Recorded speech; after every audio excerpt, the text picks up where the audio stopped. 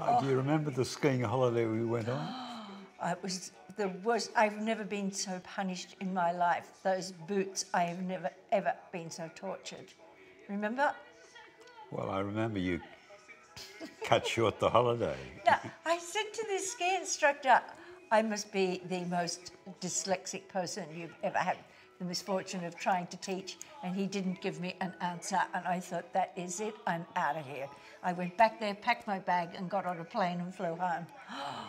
It's terrible. Absolutely terrible. Remember that woman? But you that- left me and the kids behind. yeah, but know. you liked it. You had. good- I was only messing up your holiday because you and the kids love skiing. You talked me into going. It was something I didn't want to do. ski boots weren't kind of, you know, really what you wanted on, They your, were on so your feet. uncomfortable. They were disgusting. No, that was my one and only experience in the snow.